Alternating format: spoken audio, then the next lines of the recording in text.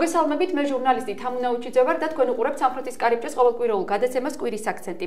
დღეს ჩვენ ინკლუზიური განათლების პრაქტიკის შესახებ ვისაუბრებთ. საქართველოში თუ როგორ სრულდება შეზღუდული შესაძლებლობის მქონე პირთა უფლებების კონვენცია ქვეყანაში, დღეს ამის შესახებ ახალციხეში ალტერნატიული ანგარიშის პრეზენტაცია გამართა. ჩვენი გადაცემის სტუმარი სწორედ ამ პრეზენტაციის წარმომადგენელი და ასევე ამ ანგარიშის ერთ-ერთი ავტორი თამარ მოსიაშვილი გახლავთ. იგი არის სამოქალაქო განვითარების ინსტიტუტის წარმომადგენელი და აღნიშნული პროექტის დირექტორი ავტორი ასევე და ჩვენი მეორე ჩვენი გადაცემის მეორე სტუმარია.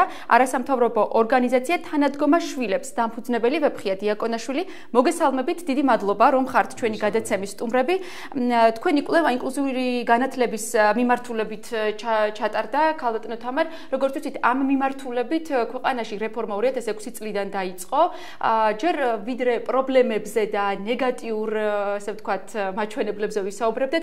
მანამდე პოზიტივზე რომ გავამახვილოთ ყურადღება ანუ რა გაკეთდა ამ მიმართულებით ამ 10 წლის განმავლობაში? დიახ. ჩემის აზრით, ამათი წლის განმავლობაში ქვეყანამ გადადგა საკმაოდ სერიოზული ნაბიჯები. თუ 10 წლის წინ ძალიან ბევრ საკითხში სკოლის წარმომადგენლები, საზოგადოების წარმომადგენლები იყვნენ ნაკლებად გათვითცნობიერებულები, ახლა ცნობიერება საგრძნობლად არის გაზრდილი და დღეს გაცილებით მეტი განსაკუთრებული საგანმანათლებლო საჭიროების მქონე ბავშვი დადის სკოლაში, ვიდრე დადიოდა გუშინ. ეს არის ჩვენი ქვეყნის მიღწევა. თუ გუშინ სკოლებში არ იყვნენ სპეციალური მასწავლებლები, ანუ პროფესიონალები, რომლებსაც ევალებათ ბავშვებთან მუშაობა, დღეს ასეთი მასწავლებლები ჩვენ საგანმანათლებლო სივრცეში არიან. თუ გუშინ არ იყო საგანმანათლებლო რესურსები, დღეს უფრო მეტი საგანმანათლებლო რესურსი არსებობს. ანუ ქვეყანამ ჩემს აზრით რესურსები რა რესურსებიც ქონდა ქვეყანას ხო შესაბამისად გადადგა პოზიტიური ნაბიჯები და ამ ნაბიჯებში ცხადია მნიშვნელოვანია საერთაშორისო საზოგადოების ჩართულობა, არასამთავრობო ორგანიზაციების ჩართულობა და საკანონმდებლო და აღმასრულებელი ხელისუფლების როლი, ანუ შემუშავებული კანონპროექტები და დაგეგმილი სახელმწიფო პროგრამები. დიახ. კი ბატონო, მადლობა. ბატონო მეფხია, თქვენი არასამთავრობო ორგანიზაცია ახლა ხანს შეიქმნა, თუმცა ვიდრე თქვენ ამ ფორმით ჩაერთე ჩაერთვებოდით აქტიურად ამ მიმართულებით თქვენ პრაქტიკულადაც დაგჭირდათ, მოკლედ პრაქტიკულადაც გქონდათ შეხება, იმიტომ რომ თქვენს შულს სჭირდება სწორედ ინკლუზიური ინკლუზიური განათლება, რა სირთულეებს აწყდებოდით თქვენ პრაქტიკაში? მოგესალმებით. რა თქმა უნდა, მე ვიტყვი ჩემი გამოცდილებიდან რომ და ალბათ დამეთახმება ის შუბლები, რომლებმაც თავიანთი შვილები აი ამ კუთხით გამოცადეს წლების განმავლობაში სკოლაში დაყავდა და რა სირთულეებთან იყო დაკავშირებული. რა იყო ეს სირთულეები ბატონო? პირველი იყო არ იყო პედაგოგები. საშუალო განათლებას ღებულობდა ყველა ბავშვთან ერთად, ოღონდ ასწავლიდნენ როგორც ყველა ბავშვს. ჩვენი შვილები აი იმ ბავშვებთან განსხვავებულები არიან, რა თქმა უნდა. მათი გონებრივი შესაძლებლობა გაცილებით დაბალია. აი მაგალითად მე ვიტყვი მე ქალიშვილი მყავს ქეთევანი, რომელიც მეორე საშუალო სკოლაში დადიოდა აა პირველი კლასიდან, უბრალოდ მეორე კლასიდან 8 კლასის ჩათვლით. რა თქმა უნდა, მან წერა-კითხვა შეისწავლა დიდი მადლობა პედაგოგებს, სკოლის დირექტორებს, რომლებმაც აი ეს გარამოდენიმე დირექტორის პერიოდში ისწავლა. მაგრამ განსაკუთრებულად ყველა ბავშვთან ერთად ხდებოდა ის, ის იჯდა ცალკე, მართალია, მაგრამ აი მასწავლებელი ცდილობდა როგორ. მიეცა პატარა დავალება კეთინოსათვის და ბავშვები გადიოდნენ თქვა რაღაცა სერიოზულ საკითხს. მაგრამ ხდებოდა რა? ვერ ეწეოდა ეს ბავშვი და ამიტომ იყო სვანაირის. ეხლა როგორც გავიგე კალბატონმა ბრძანა რომ უკვე ჩამოყალიბდა საქართველოსში უკვე ასწავლიან არიან ისეთი პედაგოგები რომლებმაც გაიარეს ეს ეს სწავლა განათლება მე. თქვენ რამდენად ასე ვთქვათ წამოგეწიათ ეს რეფორმა რა იგრძენით რეფორმის განხორციელების პროცესში უშუალოდ? თუ არ ვწდები, თუ არ ვწდები, სადღაც მე-7 მე-8 კლასში უფრო უფრო უკეთესი მიდგომა იყო, იმიტომ რომ ეს უკვე სპეციალისტების სკოლაში ჩაერთო, ჩაერთო უკვე, უკვე ჩაერთო სპეციალისტები, იმიტომ რომ ჩვენ ისეთი ის ქონდა დაგვიძახებდნენ ხოლმე და გვეტყოდნენ რომ აი რომელი რომელი სამ გაკვეთილს ასწრებდნენ. სამი გაკვეთილი, რატო იცი, მისი მისი ტვინის აზროვნება, მისი ტვინი ვერ უძლებდა 6-7 გაკვეთილის მოსმენას მიხვდით? და იმ იმ ხელაზე ტვირთავდნენ რამხელის ისკო და ეს იმიტომ რომ იცოდა იმ მასწავლებელმა რომელიც ახლა ახალი იმით განათლებით მიყვანეს და ადრე 6-ვე გაკვეთილზე ასწავლებ ძლიერ ბავში მოდიოდა მე მოდიოდა მოყავდა მაგრამ საქმე რა შეიცი შედეგი ძალიან დაბალი იყო. მე უკვე როდესაც ზუსტად სპეციალისტები ჩაერთნენ სასწავლო პროგრამაში. კიდევაც ისწავლა და რაღაცეებიც შეიგნო ახლა ჩემი გოგო ახლა რო თქვა რომ ძალიან ის მაგრამ წერაც იცის კითხვაც იცის. ძალიან სუსტია რა თქმა უნდა მათემატიკაში. 8 წლის ბავშვის აზროვნება აქვს 8 აი 7-8 მას ჩაუტარეს გამოკვლევა სპეციალური ტესტირება არის არსებობს მაგის გამოკვლევაზე. ცნობილმა მეცნიერებმა მე თბილისში მყავდა შეყვანილი და გითხრეს რომ 7-8 წლის ბავშვის რა თქმა უნდა განვითარებული ბავშვის აზროვნება რა. აი წერა იცის კითხვა იცის ხო? ქალბატონ თამარ რა არის ძირითადი ხარვეზები რეფორმის? ფაქტობრივად რისთვისაც დგება ეს ანგარიში რომ საბოლოოდ ამ მიმართულებით გაძლიერდეს სამომავლოდ მუშაობა მთავარი ჩემის აზრით გახავთ ის, რომ ქვეყანაში სასურველია განვითარდეს ადამიანის უფლებებზე ორიენტირებული მიდგომა, ანუ ამაზე დაფუძნებით მოხდეს სხვადასხვა ტიპის პროგრამების გათვალისწინება და თითოეული მოქალაქის საჭიროებას მოერგოს სახელმწიფოს მხარდაჭერა. ცხადია ეს საკმაოდ ძვირი მომსახურება იქნება, მაგრამ ჩემის აზრით დადგა დრო, რომ ამაზე ჩვენ ვიფიქროთ.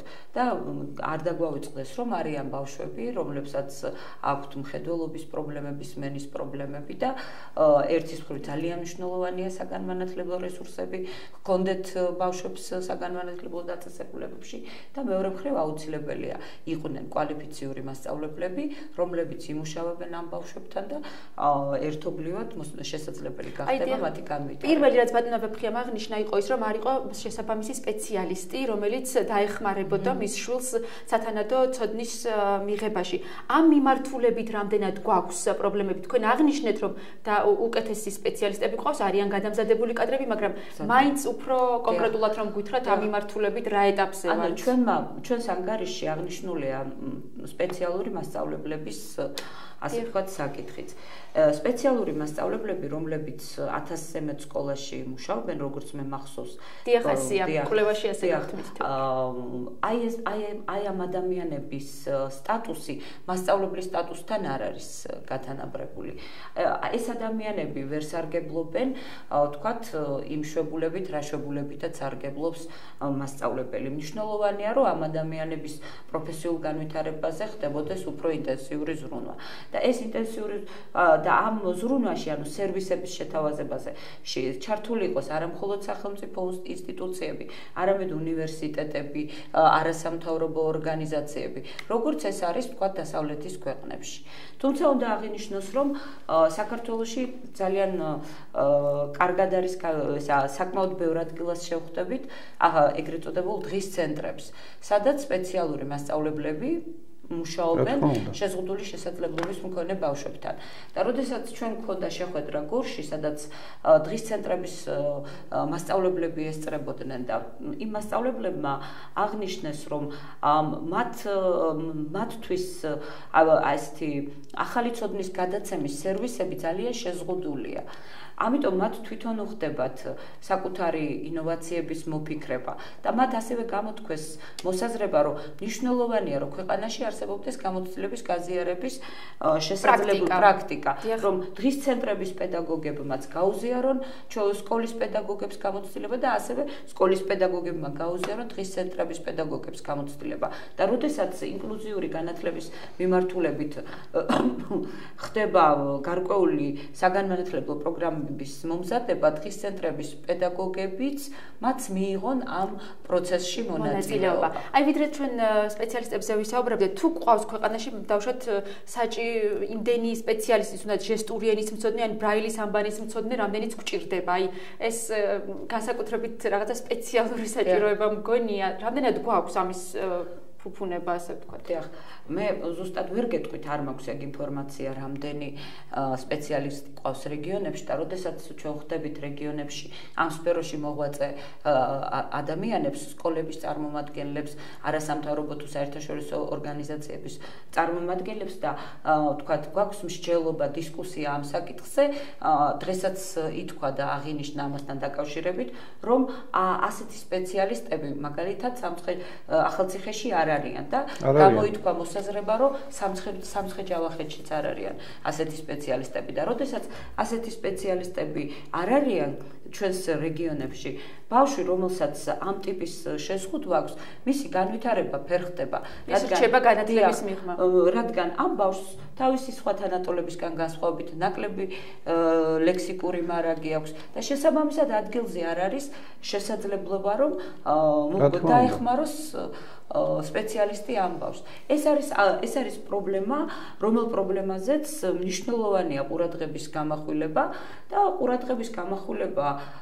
მნიშვნელოვანი არა მხოლოდ სახელმწიფო უწყებების მხრიდან, არამედ ჩვენ ჩვენი მხრიდანაც ადგილობრივი საზოგადოების წარმომადგენლების მხრიდანაც, რადგან შეუძლებელია ვისაუბროთ განვითარებაზე თუ ჩვენ ადგილობრივ თვითორგანიზებულ ჯგუფებს არ გვექნება სურვილი რომ რაიმე შეიცვალოს. დიახ, ხშირ შემთხვევაში არის ხოლმე პრობლემა ის რომ ასეთი ბავშვები არ მიყავთ სასწავლო დაწესებულებებში. სწორედ ეს არის როგორც თქვენ სკოლაში აქ ალბათ თამარ მითითებული ერთ-ერთი მიზეზი იმის რომ არც არსებობს ბაზა მონაცემები თუ რამდენი სპეციალური საჭიროების მქონე ბავშვი ყავს ქვეყანაში. როგორ ფიქრობთ, რითი არის ეს გამოწვეული? ბატონო ვეფხია, თქვენს გარშემო ისე როგორც თქვენს შულს ჭირდებოდა და უშუალოდ იგივე დახმარება ხომ სკოლაში აი ასეთი ტიპის ასეთი ბავშვები რამდენად დაყავთ საგანმანათლებლო დაწესებულებებში ეს იქნება სკოლამდელი აღზრდის დაწესებულება ნუ სკოლა თუ ასე შემდეგ კარგი შეკითხვა რა თქმა უნდა მე გეტყვით რომ ძალიან ძალიან ნაკლები პროცენტული მონაცემებია, რომ ისინი დადიოდნენ სკოლაში. რატომ? ანუ უფრო მეტი არსებობს, ვიდრე დადის საგანმანათლებლო დაწესებულებაში. შეზღუდული შესაძლებლობის სკოლამდელი ასაკის, რომლებიც ვერ დადიან სკოლაში. რატომ ვერ დადიან? სკოლაში მისვლაც არის საჭირო. აი შეზღუდული გარემო არ არის ადაპტირებული, ანუ ამას გულისხმობთ. ადაპტირებული ეს ერთი. მე მეორე, უნდა მას ყოველთვის მეთვალყური ადამიანი, შეზღუდული შესაძლებლობის ადამიანი გარკვეული მხარდაჭერას მოითხოვს სხვა ადამიანებისგან. ის განსხვავდება. აი მაგალითად მაგალითს გეტყვი კაცო, ჩემი შვილი რო დაყვავდა სკოლაში, ხო? სულ ყოველთვის ვიღაცა მიყვებოდი. ან მე, ან დედამისი, ან თავისი უფროსი ძმა, ან ბიძაშვილი, ან დედაშვილი, აუცილებლად ეს აუცილებელია. არიან ოჯახები, მე გეტყვით, აგერ ჩვენ ქალაქში საბარგო სადგურს რო ვძახით, მე იქ ვიცნობ 4 ოჯახს, რომლებიც გაერთიანებულები არიან ჩვენს არასამთავრობო ორგანიზაციაში, რომლებიც რომლებიც ბავშვებმაც არ დაამთავრეს სკოლა. რატომ? რა იყო მიზეზი? იმიტომ რომ ვერ მოიყვანეს სკოლაში. ვერ მოიყვანეს სკოლაში, იმიტომ რომ აი გავშოთ არ იყო მასწავლებელი არ ყავდათ, სკოლა არ იყო მომზადებული. იცი რა უფრო ეს მესამე საშუალო პრობლემა თუ რას გულისხმობთ? ანუ არ იყვნენ ის ბავშვები მაგალითად ისეთი რომ ეტლით გადა გადააგებულოთ გადააგებულოთ მაგრამ მესამე საშუალო სკოლაში ჩვენი მოძმე სომხური ერის წარმომადგენლები არიან ისინი. მესამე საშუალო სკოლა ხომ იცით ახალციხეში გვაქვს. აქ რომ გადმოეყვანათ გაიგე მათ უნდათ სპეციალურად ტრანსპორტიც ეს ერთი და მე მეორე ის ამ მშობელი უნდა წამოყოლოდა. მათ უთხრეს რომ თელი სწავლის პერიოდში დედამისი ან მამამისი ყოფილიყვნენ სკოლაში. მათ არ შეეძლოთ ეს. ანუ მოკლედ პრობლემა მშობლების ცნობიერება კი არ იყო, იყო ადაპტირებული გარემო და იყო ასევე ის რომ არ იყვნენ სპეციალისტები. მომზადებული არ იყო სკოლა და არ იყო მომზადებული ის პედაგოგიური სამსახური, რომელიც ამ სკოლაში იყო. და ეს ბავშვები ერთი წელი რო ჩამორჩა, მეორე წელი უკვე მესამე წელს მან იმ ბავშვებთან, პატარებთან იუხერხულა, მისულა, გაიგე? და ეს იცით რა არის? თან თან მშობელიც მშობლები ბევრი ვიცი რომ აი იმის საშუალება არ ქონდა რომ აი უნდა ეშრომა იმას რამე ორი ერთი ლუკმა რომ მოეტანა ოჯახში და ამ ერთი ბავშვის გარდა მან სხვა ბავშვებიც ყავდა გამიგე და ეს ყველა სათითაო სკოლაში ტარება არ შეიძლება და ამდენად ის უკვე ის ბავშვი დარჩა ყურადღება მიქცევის გარეშე. კაპიტან თამარ, ასეთ შემთხვევაში სახელმწიფომ რა უნდა გააკეთოს? როგორ უნდა დაეხმაროს აი ასეთ შემთხვევებს? აა, ჩემის აზრით ძალიან მნიშვნელოვანია, რომ ჩვენ მივიდეთ ვთქვათ, იმ გადაწყვეტილებამდე, როგორც ქვეყანა საზოგადოება, მისი ყველა სექტორი, რომ შესაძლებელი იყოს თითოეული ბავშვის ინდივიდუალურ საჭიროებებზე მორგებული სერვისების შეთავაზება. როდესაც ბავშვი მიდის სკოლაში და აუცილებელია შობლის იყოფნა, იმიტომ რომ სკოლას არ ყავს დამხმარე პერსონალი.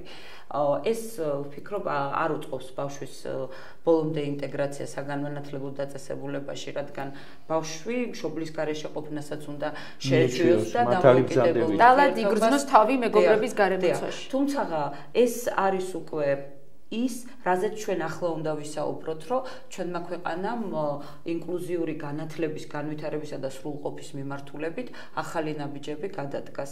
და საზოგადოება ვფიქრობ, სასურველი იქნება, რომ ამ საკითხზე დაფიქრდეს, შეთანხმდეს და აი ამ დაფიქრებისა და შეთანხმების პროცესში ყველაზე მნიშვნელოვანია საქართველოს მთელი მოსახლეობის კონსენსუსი და განსაკუთრებით რეგიონებში მოღვაწე თვითორგანიზებული ჯგუფების მოსაზრება. დღეს რომ იყო შეხვედრა ახალციხეში, ძალიან საინტერესო საზოგადოება იყო ნამდვილად მოწვეული. ესენი არიან ადამიანები, რომლებმაც თქვათ არასამთავრობო ორგანიზაცია თანადგომა შვილებს, როდესაც შობლები ერთი მიზნით გაერთიანდნენ, ჩამოაყალიბეს არასამთავრობო ძალიან კარგი მაგალითია ეს არასამთავრობო ორგანიზაცია და მათ აქვთ ერთი მიზეზი, მიზანი.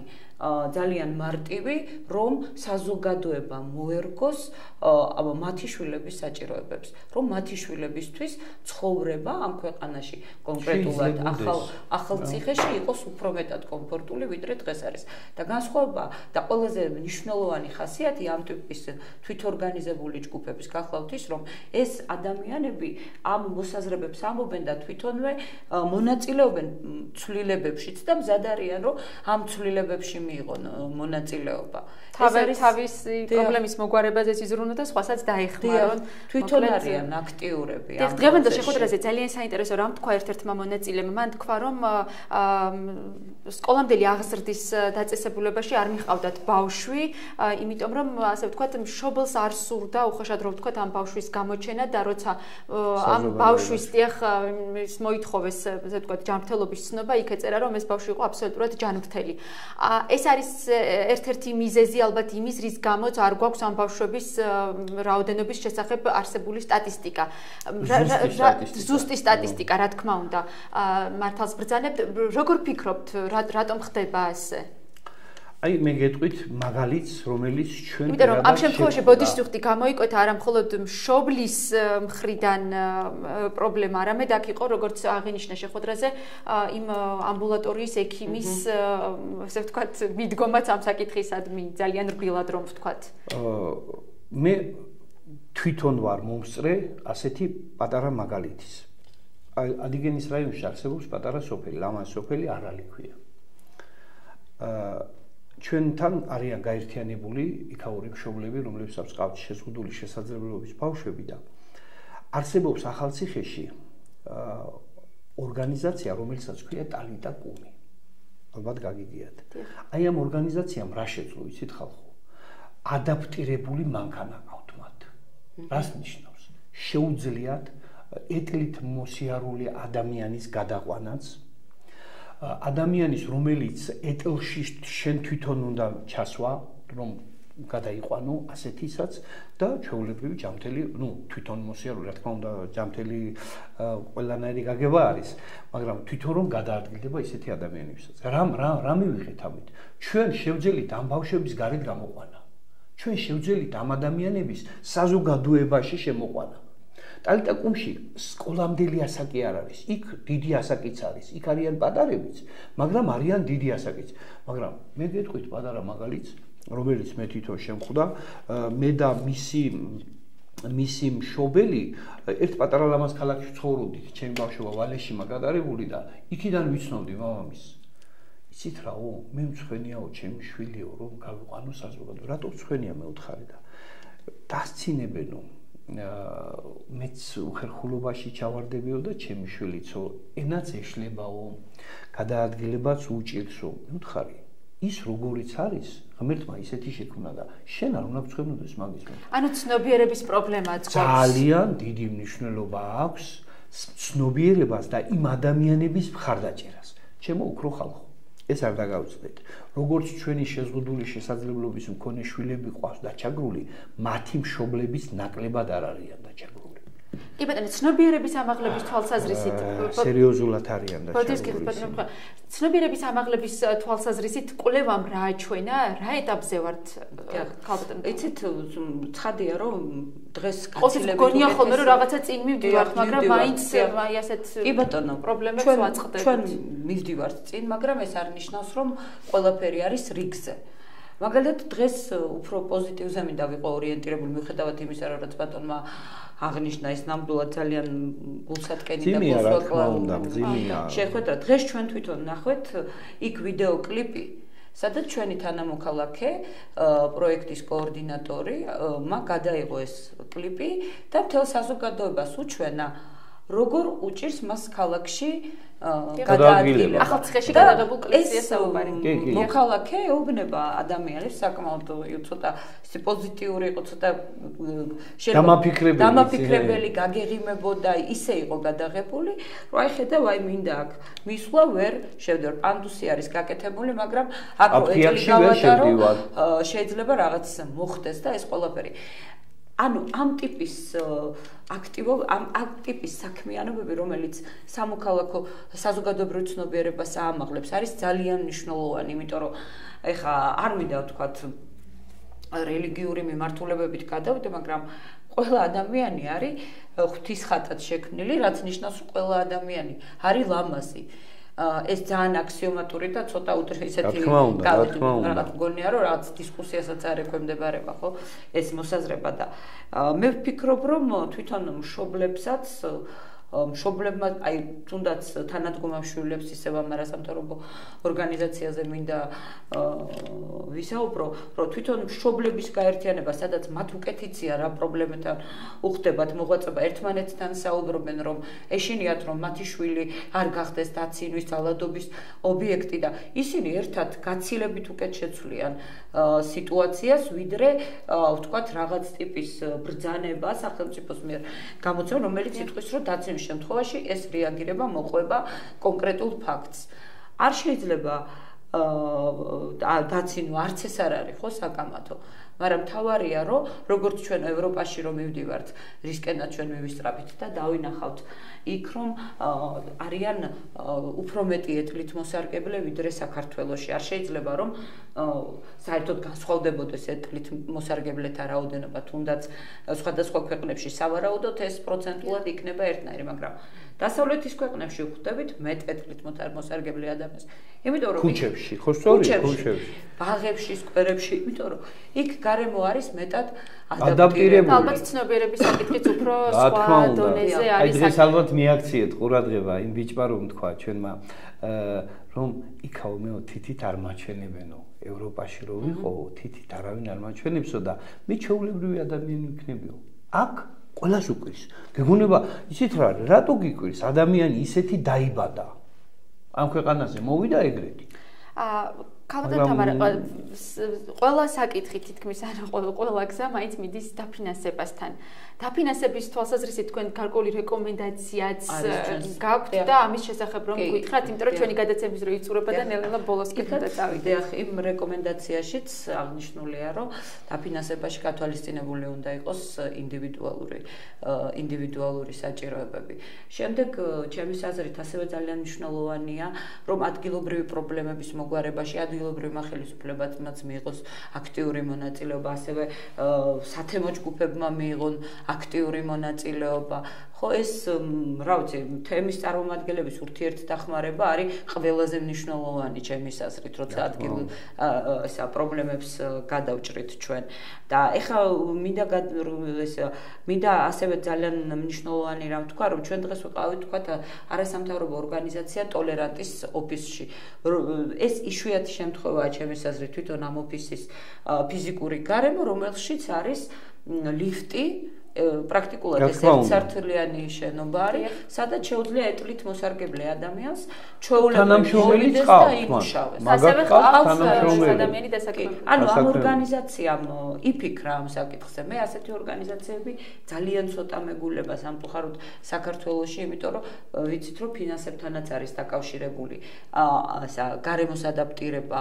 ა შეიძლება არ ვთვლით რომ ეს ძალიან მნიშვნელოვანია რომ მოხდეს ყველა გარემოს ადაპტირება, მაგრამ არ ვიცი, მომავალი ალბათ ამის გარეშე წარმოუდგენელია, რომ ეს არ მოხდეს. ხო ბატონო თამარ, თქვენ სწორედ ბძანეთ, იცით რა, სიკეთისკენ უნდა წავიდეთ.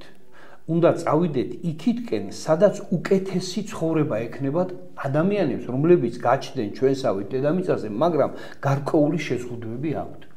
ისეთი არიან მაგალითად ამაზე არავინ დაობს მე მგონი არსებობენ ადამიანები ჩვენთან არიან გაერთიანებული მათი მშობლები რომლებსაც აქვთ ფიზიკური ნაკლი გადაადგილებს მაგრამ ძალიან წინვალეთ აზროვნებენ ძალიან წინვალეთ ჩვენ გადავწყვიტეთ რა თქმა უნდა ცოტა თემას უხვევ მაგრამ ერთი სიტყვით მინდა გითხრათ რომ გადავწყვიტეთ შევქნათ ჩამოაყალიბოთ ორგანიზაცია, სადაც დავასაქმებთ ამ ადამიანებს, გამოვიყენებთ მათ შესაძლებლობებს. მაგალითად, ანუ ეს თქვენი არის სამთავრობო ორგანიზაციის ერთ-ერთი გეგმა შეიძლება ითქვას. ჩვენთან ერთად აი ამ საკითხებში აღვითქვეს მხარდაჭერა და თანადგომა ტოლერანტმაც, იქ არის ქალთა ორგანიზაცია, მეორე შეზღუდული ორგანიზაციების მხარდამჭერი ორგანიზაციებია აი ამ სფეროში და პლუს მემხედველობაში მაქვს და დიდი იმედი მაქვს გამგონია და ერთი წამითაც არ ვწდები რომ ხარს დაგვიჭერს ჩვენი რაიონის ხელმძღვანელობა, რეგიონის ხელმძღვანელობა. მე მგონი ეს ისეთი საშვილიშვილო საქმეა, რომელშიც ადამიანმა თუ თუ მხარის დაჭერაზე უარს იტყვი, რა ვიცი, სანაირი ადამიანი უნდა იყოს. პირიქით, ჩვენზე დაინტერესებული მხარს ვიჭერს ძალიან ბევრი განათლებული ადამიანი, რომლებმაც სერიოზული წინაპრები. ეხლა რას აპირებთ აი თქვენ პირველ ეტაპზე? პირველ ეტაპზე ასეთი რამე მოვიფიქრეთ. ყავს რამოდენიმე ყოჩაღი გოგონები, რომლებსაც გარკვეულად შეგვიძლია და მივცეთ ასეთი ისა, რომ პატარა კაფე გვინდა რომ ჩამოაყალიბოთ, იქნებიან იმუშავებენ მიმტანებად. ეს კაფე გვინდა ჩვენ ავჭურვოთ იმ დანადგარებით და იმით, რომ მათ შეძლონ მათ შეძლონ მუშაობა, ჩავთოთ ეს ჩვენ ტურისტულ წრეში, აი სამცხე ჯავახეთის ტურისტულ ქსელში შევიტანოთ და მე მგონი რომ ძალიან ბევრი ადამიანი უბრალოდ ხარდაჭერის მიზნითაც მივა და ხარს დაუჭერს ამას მე ვფიქრობ ქალბატონი ცირაც სერიოზულად უდგება ტოლერანტი. და რა ვიცი ჩვენს უთხარით რომ ჩვენი მხარდაჭერა აუცილებლად იქნება ჩვენ ვართ ის ადამიანები რომლებსაც ყავს ასეთი ადამიანები. ჩვენ ვართ ესეთი. იცით რა წეგანას თქვი წეგანას თქვი და ახლაც ვიტყვი. ბევრჯერ მithქვია ხოლმე მშობლები უფრო ცოდო ვართ. აი ჩვენ შვილებზე რატომ იცით მშობლები ბევრი მოაზროვნე ადამიანებია და უფრო მეც განიცდიან. ვიდრე თავი ჩვენ ყავშილები, რომლებსაც არ აქვთ ესეთი ისა, რომ აი რაღაცა ისე მიხვდით? წარმატებას გისურვებთ ამ წამოწყებაში. ბოლო შეკითხვა უნდა დაგისვათ ქალბატონო თამარ, მოკლედ ძალიან მოკლედ რომ გითხრათ რა ეტაპზე ვართ და რა ეტაპზე უნდა გადავიდეთ აი ამ რეფორმის განხორციელების პროცესში 10 წლის შემდეგ და დავასრულოთ გადაწყვეტა.